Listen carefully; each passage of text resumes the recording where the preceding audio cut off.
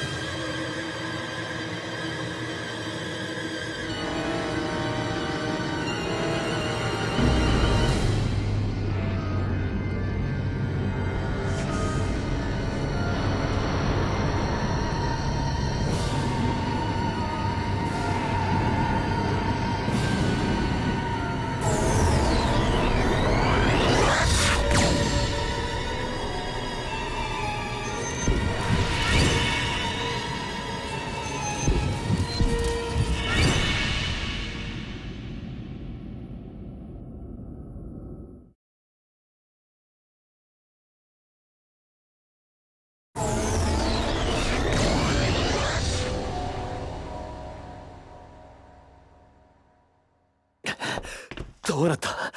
何が起きた？座標が一瞬で全く違う場所に移動している。な何？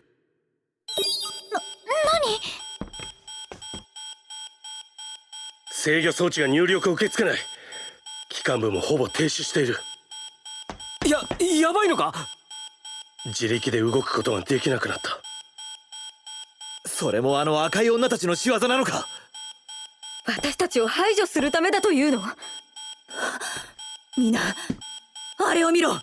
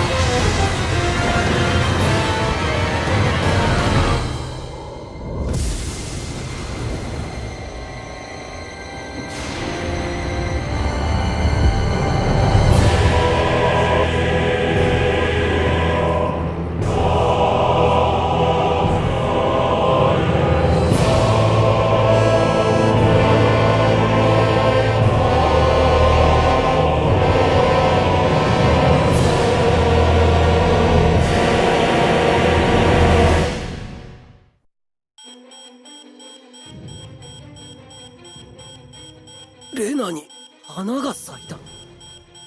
まるでダナを養分にして咲いているみたい。レネギスが中継しているように見える。ではあれがレネギスの真の役割だったのか。あんな状態で中の人たちは大丈夫なんでしょうか？無事を祈るしかあるまい。くそどこまでダナから奪えば気がするんだ！破滅の花。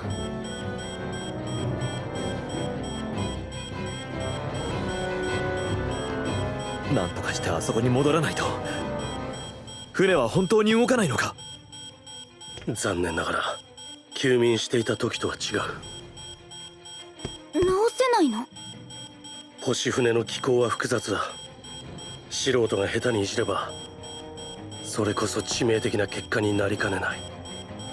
このまま漂うしかないってこと？閉じ込められたまま？いつまで？冗談だろ。ここまで来て何もできないって言うのかよ！目の前でダナがいいようにされてるのに！ただここで口当てるしかないのか！よせろ悔しいのはお前だけじゃない。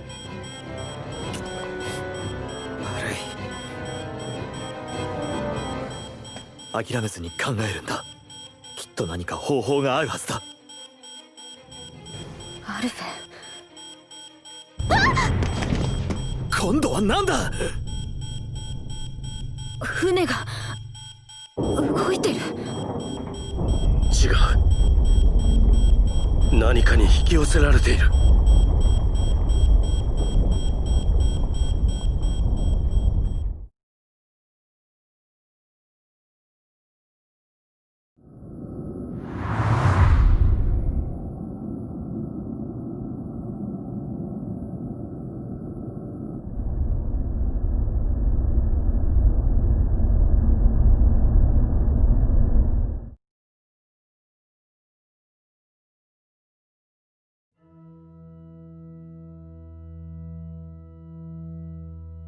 されるがままに来たはいいけど。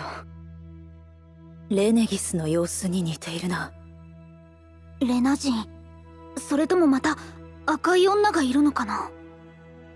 わからん。だが我々を引き寄せた以上誰かはいるはずだ。待ち伏せしているわけでもなさそうだ。誰だか知らないが何のために俺たちをここに？おおいシオン私たちに危害を加える気なら星船に乗っている時にできたはず。行ってみるべきよ。